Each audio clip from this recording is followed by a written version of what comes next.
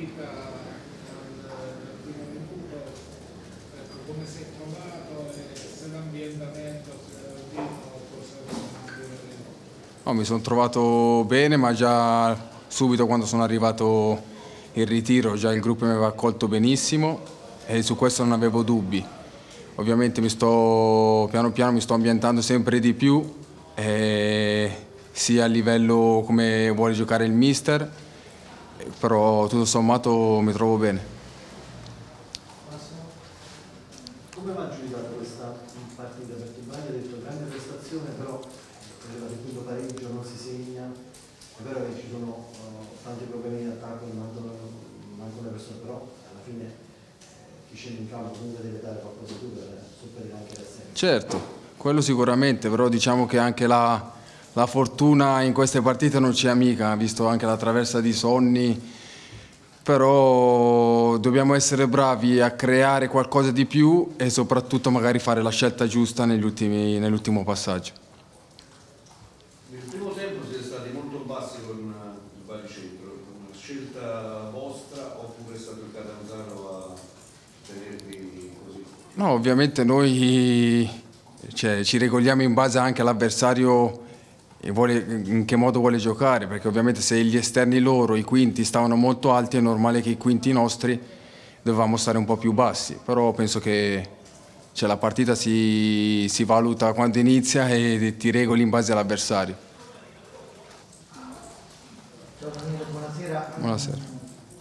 Nell'ultima partita, nell'ultima post gara, mister Brai ha detto che ti aveva rassicurato del fatto che il tuo momento sarebbe arrivato un po' di dispiacere per quel contropiede che è sfumato, però stai dimostrando una grande duttilità, sia nel 3-5-2 sia nel 4-3-3, stai mettendo a disposizione anche la tua esperienza, pensi che questo ambientamento procede al punto di poterti davvero dare sempre più minuti in campo? Sì, diciamo che sono due moduli che ho quasi sempre fatto. E...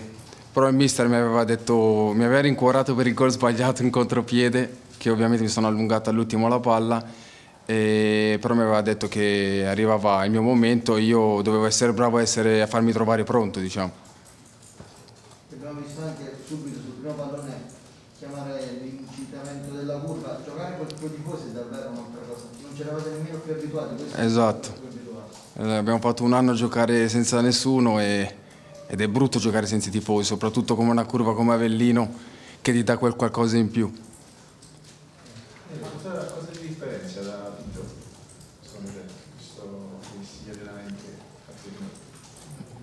Ma diciamo che magari un po' la fase difensiva, non lo so, dovete dirmelo voi, io non è che diciamo che siamo, lui è un ottimo giocatore e ci dobbiamo, ci dobbiamo giocare il posto e quindi non c'è né malizia né robe, anzi ci mancherebbe. Chi sta meglio gioca.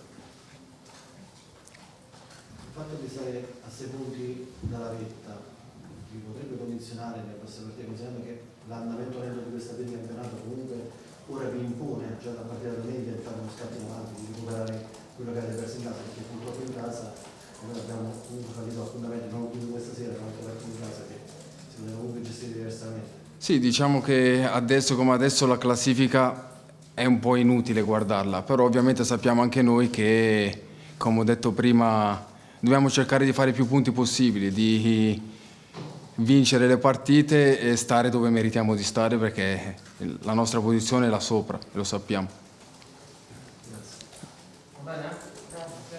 Grazie a voi.